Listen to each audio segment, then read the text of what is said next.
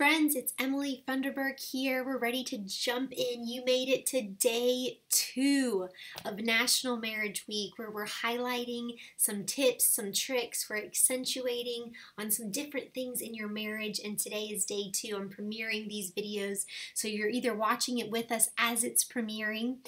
If you are, can you just drop in the comments that you're here? Press the like button. Let us know that you're with us. Um, I hope that you connect and start talking to one another.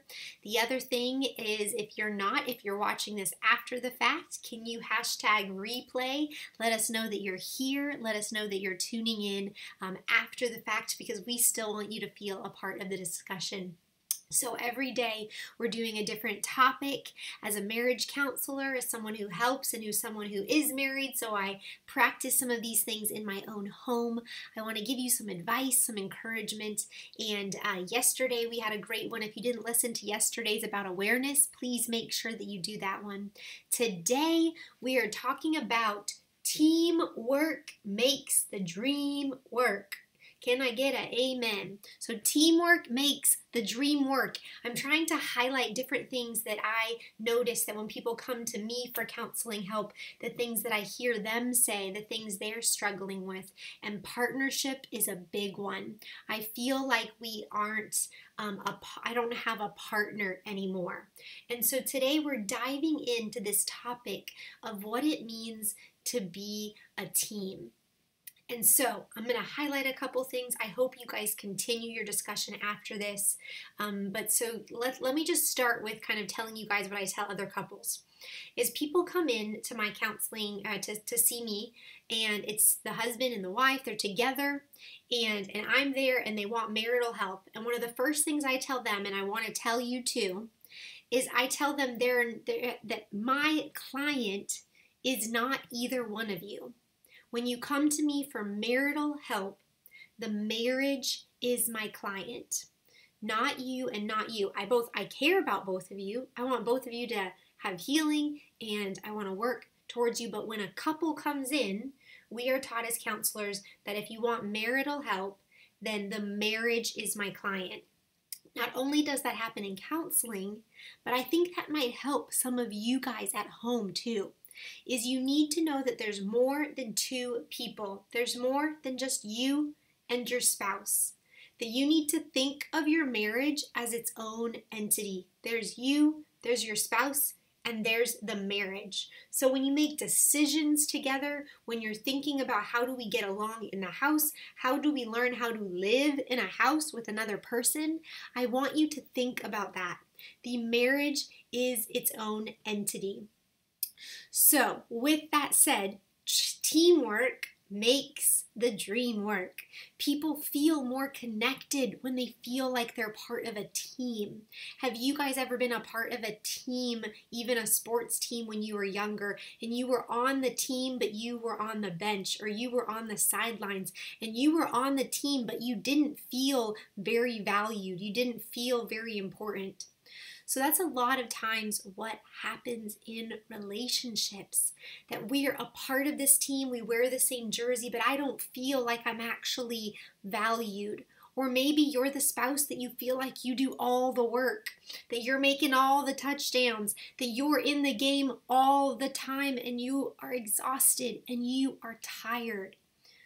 Teamwork makes the dream work. We need to learn to rely on each other as couples, this not only helps you, but you modeling this together helps your kids because you develop a mindset for your whole family that we work together. So, what does that mean? So, what does that mean and what does that look like? So, what I want to talk to you guys talk to you guys about is how this looks, how you do this in your house. Is I want to ask you, how do you set your spouse up for success. If you have a notepad while you're watching these videos, I want you to write that down. How do you set your spouse up for success? We are selfish people in our nature. Like we are driven to wake up and think about ourselves, to do for ourselves. And I want you to think about the fact that this week, this National Marriage Week, is I'm trying to encourage intentionality in your home. how can you think about how can I set my spouse up for success? So Matt and I try and do this in our own home where I think about how can I set him up for success when he wakes up tomorrow morning. And he does the same for me. And sometimes we get it wrong. We go through seasons, we go through weeks where we just forget that we're supposed to help the other person, so we're not great at this all the time. But when we are at our peak season of really caring for each other well, um, Matt is super great about being able to say, Hey, I wanted you to know that I got the lunches prepped. I got the chocolate milks ready for when the kids wake up tomorrow. Tomorrow, is there anything I could do before I go to bed tonight to make sure that you're set up for success tomorrow? guys, when he says that to me, my heart just feels like oh, I have a partner. It's just this simple reminder that I am not alone. And when I go to the store, and usually when I go to the store, I just, I know what our family needs. I know what the daily list is. I know what the weekly list is. And so I just go to the grocery store thinking about what I think everyone needs. And it means a lot to him when I set him up for success, where I say, Is there anything I can get you that you might need when I go to the store today?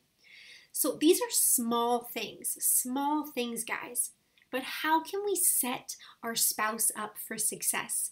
And I believe that if you practice intentionality in the small areas, that it will transfer over into the big ones that you will have major things, job, career changes, that your spouse is going to say, How can I set you up for success in big things that happen in your life? Because you practice them in the small areas. So, can you think about this in your home? If you're watching this, can you go ahead and maybe list a couple in the comments? How do you guys practice this at home? Or what's a way that maybe you want to admit that you could do a better job of doing this? There's power to writing it down. So, just typing in the comments, I need to do a better job of, of this with my spouse, there's power in just writing that down. So, can I encourage you to do that today? So, teamwork makes the dream work. And my first question, I have another one that I'm going to help you uh, apply this principle with. But that first one I just said right there is how can I set my spouse up for success? How can I care about them? How can I remind them that I see them, that they're they're not invisible, that they matter to me? So think about how you can do that in your home. You know what the daily tasks are. You know the things that your your wife gravitates that she tends to do these chores, your husband tends to do these chores, or maybe you have an absent partner who kind of doesn't do much of anything. And and I want you guys to start asking each other, um, I don't know how to help you. How can I support you? How can I set you up for success? Because sometimes you can't read your spouse's mind, even though I would love for my mind to be read sometimes by my spouse. And I'm sure that you are the same way, that I wish I didn't have to tell him the things that I need help with. Um, but if you are a spouse where you've been absent for a while in your marriage and you want to start setting your spouse up for success, and you're saying, That sounds great, Emily, but I don't know how to do that he or she has been doing everything for so long, I don't feel like I fit in anywhere, or everything I touch, I mess up. Uh, because if you are a spouse, I'm going to talk to the other one for a second. If you are someone who is overly critical, your spouse retreats and doesn't want to help doesn't want to set you up for success because not because they don't care about you, but because they feel like every time they try to help, they mess things up even more. And so you need to acknowledge if that's you, if you are the spouse that maybe you're a little too critical every time your spouse does try to help, so they've just completely retreated. But if you're hearing this message and maybe you're even listening to it together, can I ask that the one who's retreated, maybe it's time for you to get out of retreat mode and come to the forefront and say, I want to support you. I want to set you up for success in any area of your life that you need set up for success in. How can I do that? How can I be the biggest help? Ask. Do not be ashamed to ask. Humility isn't as scary as your pride wants it to seem, okay? Don't be afraid to ask. If you don't know where to start, just ask, How can I set you up for success? It is a line that tells your spouse you love them and you care, okay? Big stuff. Second one, that I'm going to leave you guys with, and then I'm going to give you um, an exercise you can do after this to actually apply this one. And that is um, so I said, set each other up for success. And my second one for you today is I want you to know that you also need to support each other's stresses. All about the letter S. S today. Um, but so I want you to hear that. How can I support my spouse's stresses. And I do this a lot with marital couples because it's so important.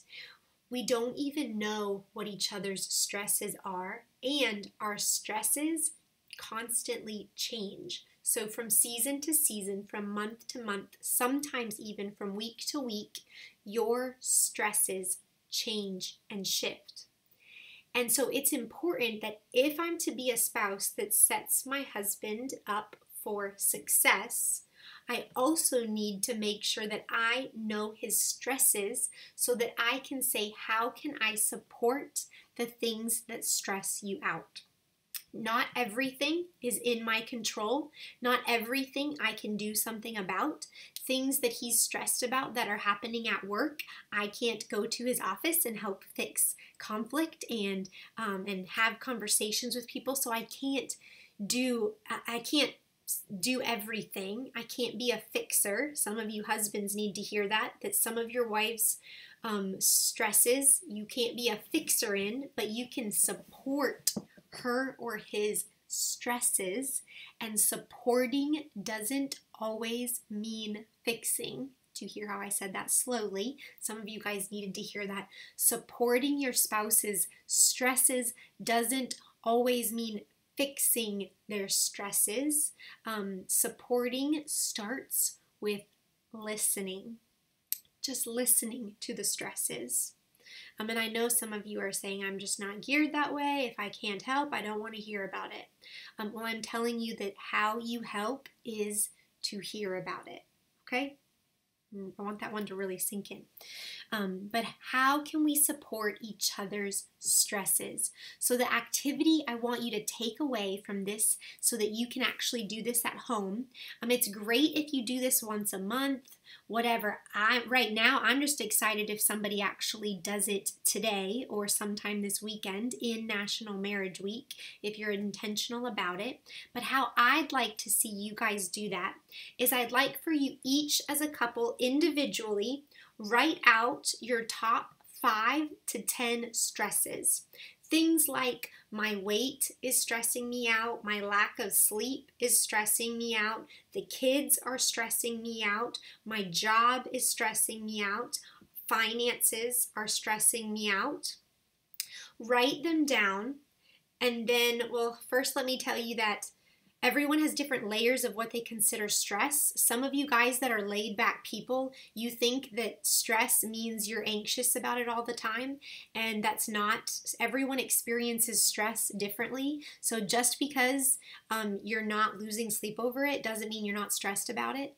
We're just talking about things that you, and, and if some people actually don't even like the word stressed. So, how I change that word to help them write this down is top five to 10 concerns. Sometimes that word just goes over better because people don't want to even admit that they're stressed. So, can I have you write down a list, five to 10 things that you're either stressed or concerned about in your life? Then what you're going to do, um, both both spouses do that on your own. Then what you're going to do is you're going to come together and you're going to compare that list. I tell people circle the things that are the same. If you happen to have overlap and you're both stressed about the kids or you're both stressed about something together, then that is something that is you have overlap in. So how can we help each other in the areas where we have overlap stress? And then the second part is anything that you don't have that's overlap, that's where you need to ask is there something I can do to support you in that area? Is there something that I can do to support you over that? And if you are a faith based couple, it's also something that lets you know I'm going to be praying over you in this area. You can even verbally pray about the things on each other's list right then and there. It's good to know. It helps builds communication. It helps with so many things when we learn to support each other's stresses. So, my two big ones for you today were set each other up for success. Set your spouse up for success and think about how I can do that. How can I set you up for success tomorrow? How can I set you up for success on my way home from work tonight? How can I set you up for success? And then the second part, how can I support my spouse's stresses? And then do your list, talk to each other, check in with each other because their stress list is going to change. Those are my tips and tricks for you today.